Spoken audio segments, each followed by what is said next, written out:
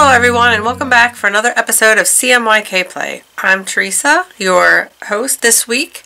We are going to be experimenting to create a colorway called Wedgwood. We do these experiments using the primary color CMYK, C standing for cyan, M standing for magenta, Y standing for yellow, and K standing for black. In these videos I will be using stock mixtures, dry powder mixtures, and occasionally a combination of the two when necessary. Everything you need to know about what I'm doing, what dye I'm using, and what form I'm using it in, and any other relevant information will be located in the description box below. These experiments are done using 75% superwash merino, 25% nylon sock yarn. Please keep in mind that there is not a right or wrong way to do this. These are just my experiments and how I'm doing them. There are a few things that can change the outcome of your experiments at home. If your water is more or less acidic than mine, if you choose to use a different dye, or a different yarn base that I'm using. I encourage you to take this information and use it as a jumping off point in your own experiments. And with that being said, let's go visit past me in the dye studio and see about creating Wedgwood. Okay, welcome to another episode of CMYK Play. Today the color that we are trying to get is called Wedgwood. I'm going to pop it up on the screen here for you so you can take a look at the color. Uh, this season, the CMYK values are giving me a little bit of a run for my money. So for Wedgwood, the CMYK values is cyan's 35, magenta is 8, and black is 35. So even amounts of blue and black are is this color is a fairly light color and even amounts of blue and black to me seem like it's going to be really dark. But as with every other episode, I am going to just give it a whirl here and then we will work our way from there. We're going to be working with the cyan, the black, and magenta in some form. I'm not 100% um, sure that is going to be powder, but we'll see. Um, like I said, uh, I'm going to start with the powder and see where that takes us. So let's start with the values at face value. Let's do 0.35 of cyan, 0.35 of black, and then whatever. I'm gonna I am gonna go ahead and just add the magenta in. I want to get the the basis of what those values make, and then we will work from there. So it's a little windy today here at the studio, so I apologize if uh, number one you hear it, but also the scale might get a little screwy, so we might have to close the door. Hopefully, it won't be it won't be too bad, and we won't have to do that. But let's see what happens.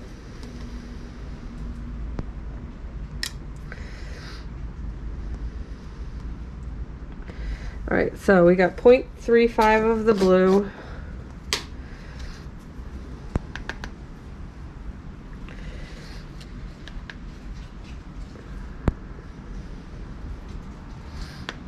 Oh, I couldn't have done that more perfect if I tried.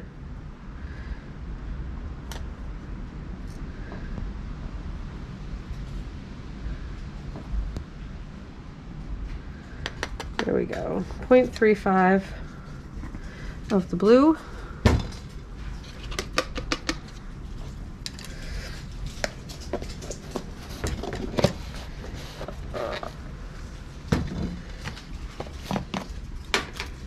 Point three five of true black.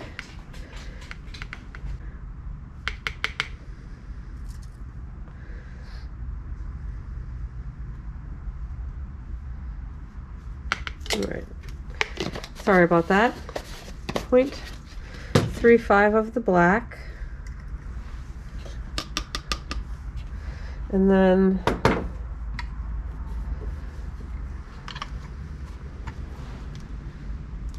I'm actually going to make that an even smaller. We're going to do 0.8, 0.08.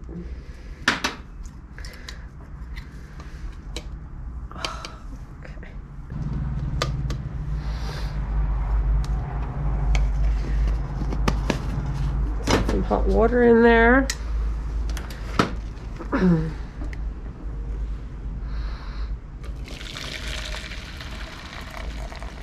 this is quite a vibrant color, I believe.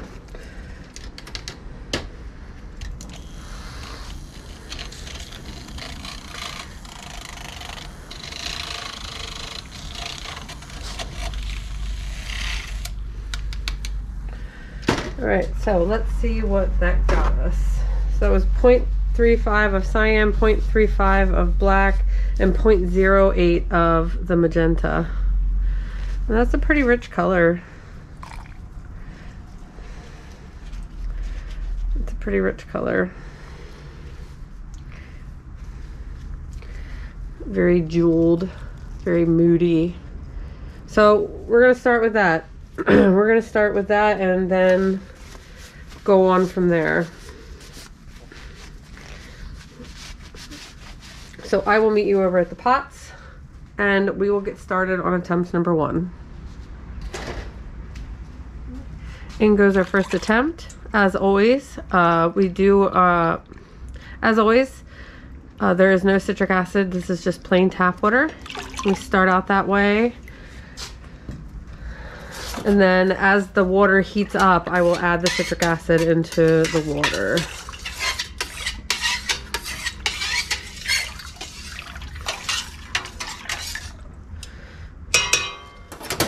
We're going to turn some heat on. I always turn it all the way up to get started and then once it comes to temperature I will turn it back down until the dye is set. So the highest that this um, this is called an induction burner and the highest that this goes is 460 degrees so I always turn it all the way up to begin with. To get our skein as always. These experiments are done on my fuzzy fingering base which is 75% superwash merino 25% nylon and that is very dark. So we'll see. I'm gonna stir this around until I start to feel some heat in the water and then I will be back with you to add the citric acid and decide where we are going to go with this color next. So I'll see you in a few moments. Okay, I'm back. I've been stirring for a little while. I'm starting to feel some heat in the water. So I'm going to add two tablespoons of citric acid. And I want to show you guys where we're at here. It is very dark, just like I predicted. Um, and there's quite a bit of dye in the water yet. So this is probably going to get even darker. As you can see that in the pot there. There is quite a bit of dye still in the water. So we are going to try something a little different with the next one to see if I can get a brighter blue, a toned, like, when I look at that picture, I see toned down, brighter blue. So, I have an idea, and I want to see what we can come up with. So I'm going to go ahead and let this heat up. We're going to go back over to the dye table and work on our next attempt. Okay, so my thoughts on this, this blue here that we just made, that is borderline, that is, that is pretty close to navy. I feel like we just made a navy blue. Um, which is gorgeous. I mean, that's a gorgeous blue. I can't wait to see what that looks like when it's dry, but it's not quite it's not nearly that picture that we were looking at. So, this is what I would like to do for try number two. I would like to use dry powder for the blue and then I want to mess around and see if I can get that blue a little bit brighter before we add some black in. And to do that, we are going to use yellow. that is uh, because if the magenta here is it's you know it's creating that purpley purpley hue and the color that what I'm seeing in that photo is not purpley. So I'm going to just negate the magenta entirely for this next try. And we're going to mess around a little bit here. So we're going to start out with, same as before, 0.35 of the Caribbean blue, or cyan. I guess it would help if I turned on the scale.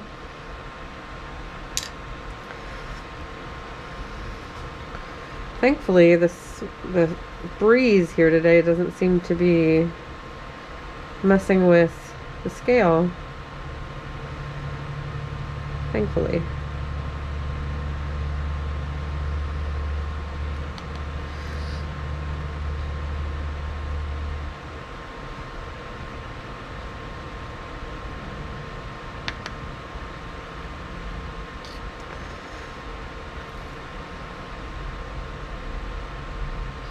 There we go. 0.35.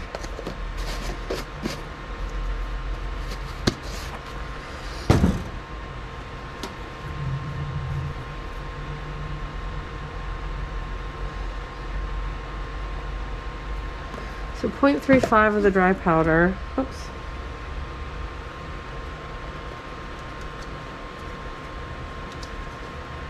This would help if we poured it in there. I'm having one of those days where everything I do is just makes no sense. All right, so there is our, there's our blue. And I'm gonna mix that up.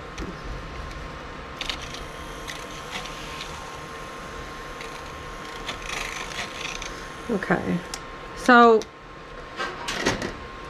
we've been taught that yellow and blue make green, but blue and a little bit of yellow make a brighter blue. There's a fine line that you walk between enough to brighten it and too much that it turns green. So what I want to do, and I know that these little bits can get a little tedious, but it matters. I'm going to use our good old neighbor, our good old friendly neighborhood pinch. And we are going to add pinches of yellow in to brighten up this blue a little. So this is what it looks like before the yellow.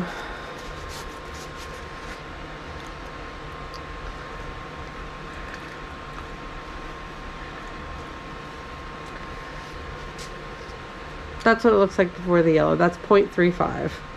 So I'm going to add just a tiny bit. We're going to add the pinches of the liquid in.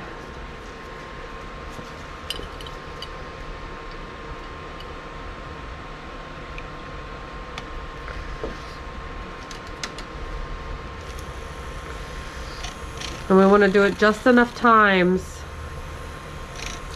that we don't run the risk of green happening.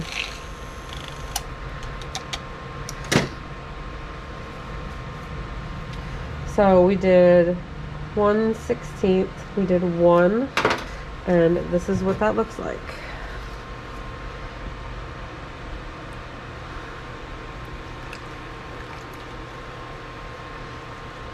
You can't really see too much of a difference. There's a slight, it's slight, but you can't, it's like visually you can't see it very well. so we're going to add another one.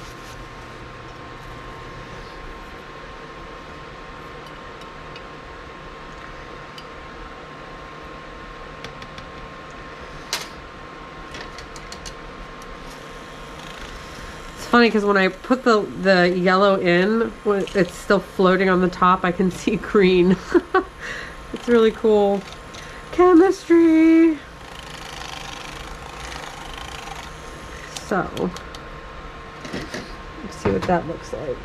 Let's see if we can see anything notable here. So that was two.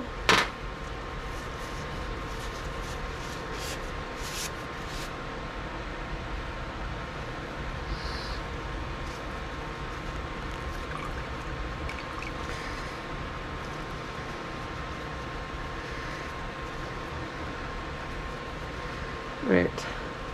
So I don't know if you can see this on the camera, but it's definitely getting lighter. This was the no yellow one and then two. It's definitely lighter, ever so slightly. So I'm gonna go, I'm gonna go one more and see what that looks like. Because like I said, there's a fine line. If We add too much of this, it's definitely gonna start getting green and that's not what we want. So that was three.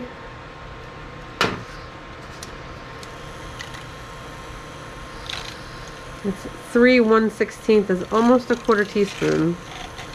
So let's see what this looks like.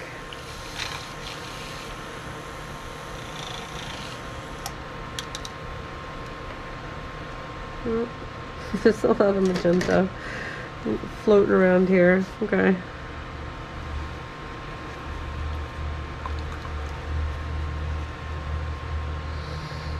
All right.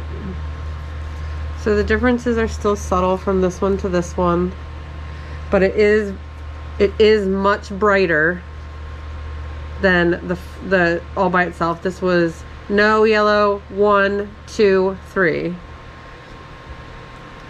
So I kind of I'm kind of starting to see a little green, so I, I don't want to push it any farther. That's lightened it up pretty significantly. So now what I want to do is I'm going to start putting black stock in. So that was 0.35 of the the cyan, of the dry powder. And then we did 3 1 16ths of the yellow to kind of brighten it up a little bit. And now we're going to start adding in liquid black. So I'm going to move these so it doesn't get confusing. So this is where we started. This is where we are right now. Actually, you know what? There's a lot of... I want to be able to see the definite difference. So I'm to do another little paper towel. I want to be able to see it pretty clearly. All right, so this is where we are right now with no black. This is just the cyan and the, the yellow. So now we're gonna, I think I'm gonna do,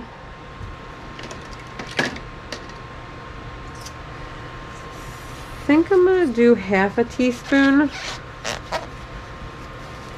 Half a teaspoon seems like a good idea. Let's start with half a teaspoon.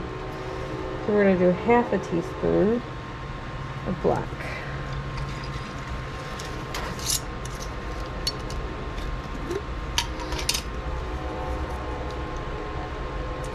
Now this is going to kind of tone it down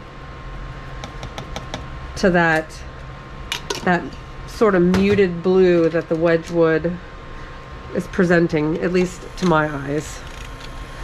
And mine eyes are the most important eyes because mine eyes are the ones that are making decisions. so, it's my story and I'm sticking to it. See what that looks like now.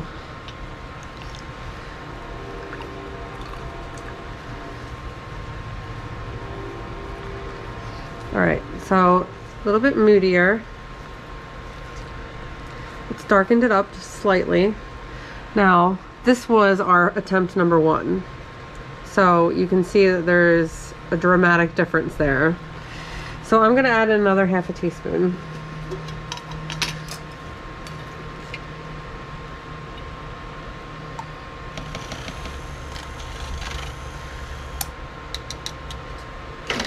0.35 dry powder of the cyan, 3 1 16th of yellow, and 2 half teaspoons of black. Now that is getting in the ballpark there of what I see in that photo. That's getting in the ballpark. I want to let this sit for a few moments and dry out a little bit. I just want to give that a few moments there. Right, so that's after sitting for a few moments. This was one half teaspoon, two half teaspoons. So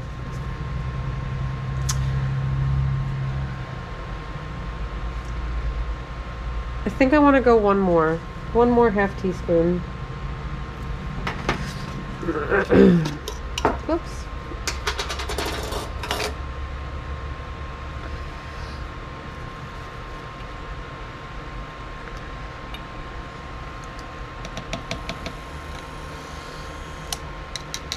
Alright. That got a little blue one from the other paper towel. Oh, it looks like I'm killing a small forest here. Alright.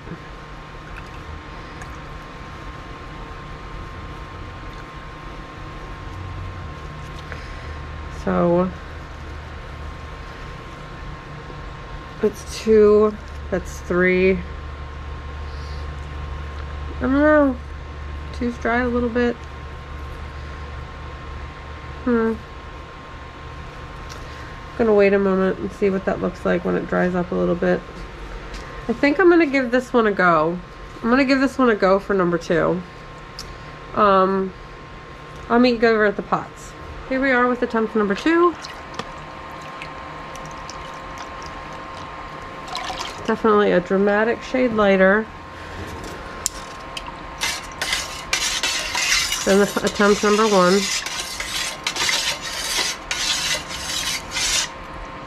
I'm kind of excited to see what this is going to look like on the yarn.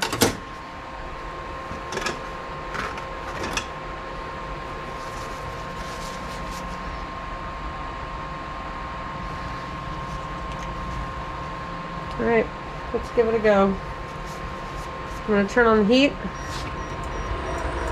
And I'm going to go grab our skein. And here's our skein.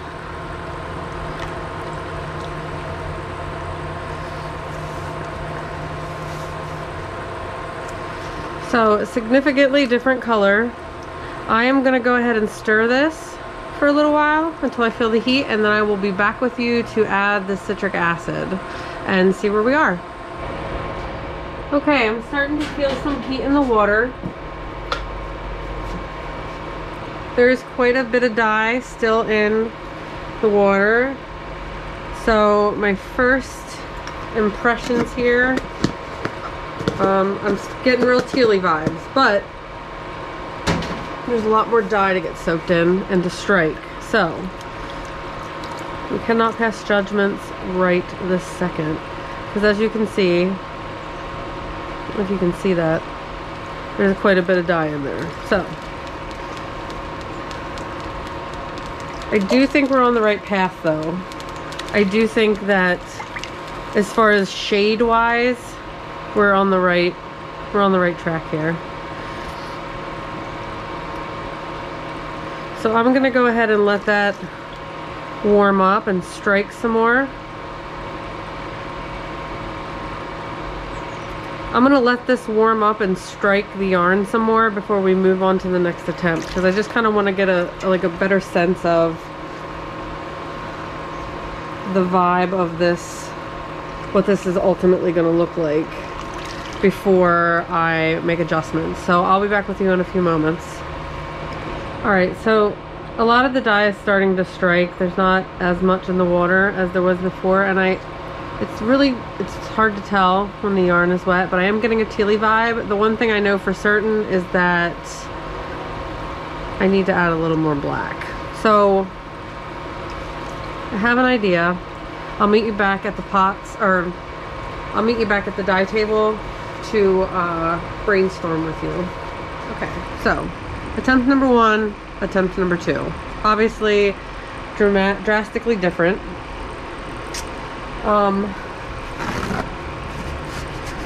like I said, it's going to be a little hard to tell for sure. I'm getting teal vibes, but as it sets, that changes. That could be pretty close. I think two is pretty close. Um, so for three, I want to play a little bit. I am going to stay with the dry powder for the cyan. Wipe this out a little bit. And we're to keep that that amount. We're to keep that 0.35 amount.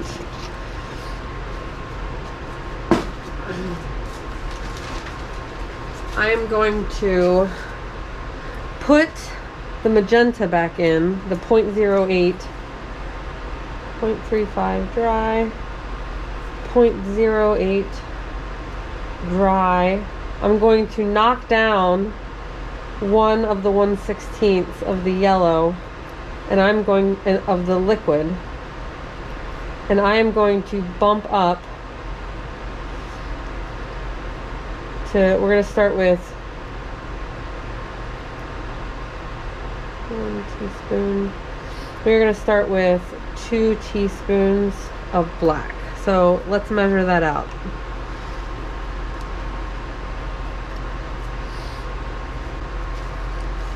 so we are going to do the 0.35 again of the Caribbean blue. Oh well that's way overboard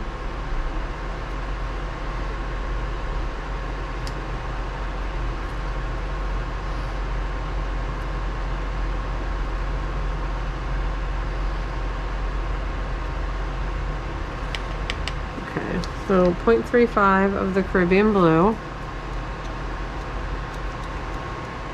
We're going to do 0.08 of magenta.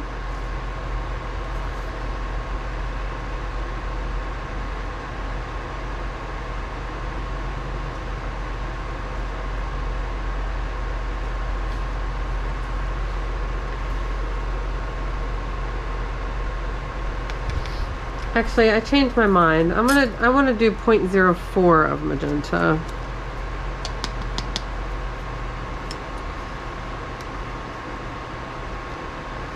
I don't know why, just something's telling me to back down on the magenta a little bit. Which it always is. So we're to do 0.04 of magenta.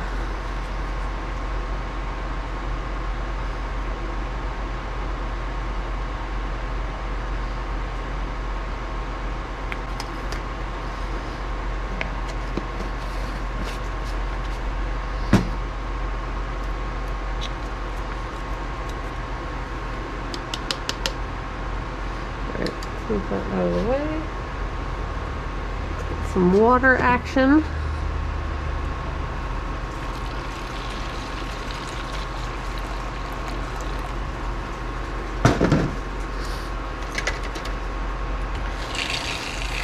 So this is, I think the magenta is what's given it this royal blue, this royal blue to it.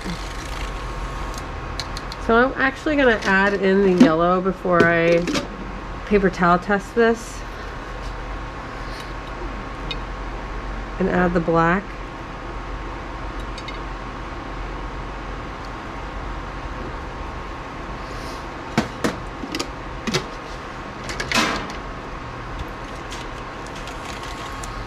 Okay, let's see what that looks like.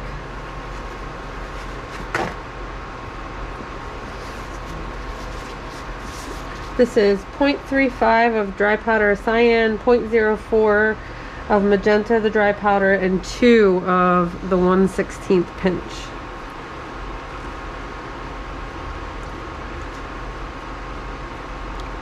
Hmm. That is definitely a very beautiful blue. This is one, attempt one, this is attempt two, and this is the beginnings of attempt three. So I'm gonna let this set for a moment. I feel like my gut is on to something though. If we've learned anything from the past few weeks here at Fuzzy Whatnots, we should trust our gut. So I'm gonna add the two teaspoons of black in. I'm gonna use the I need to do some dishes. it's like my least favorite part of this job. One, two, three. I want to see what three looks like. So that was three half teaspoons. And I want to see how rich that is before I add the fourth one in, which would effectively make two teaspoons of the black.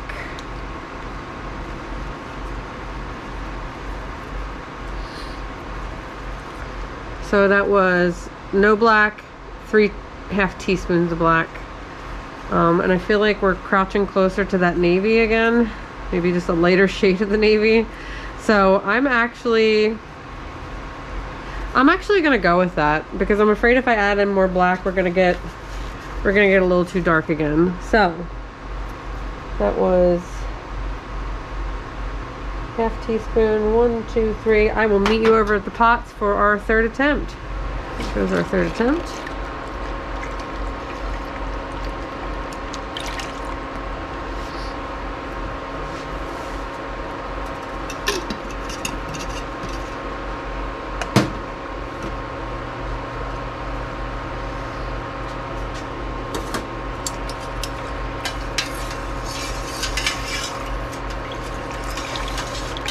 Stir it.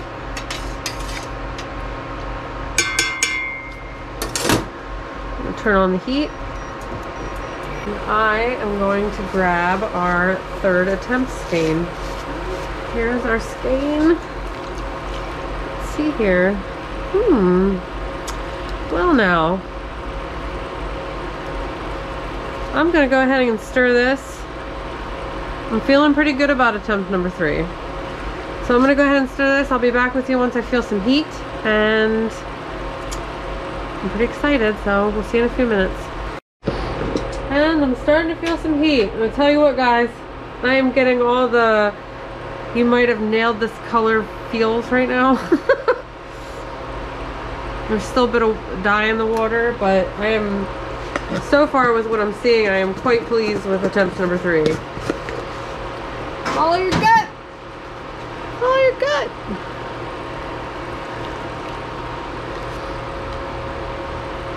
And keep in mind that these are wet, so they're always going to look darker when they're wet, but I am pretty pleased with the temp number three. It's got the moodiness, but it's not super rich like the first attempt. Um, it's got the, a little bit more of a brightness to it, but it's not super bright like attempt number two.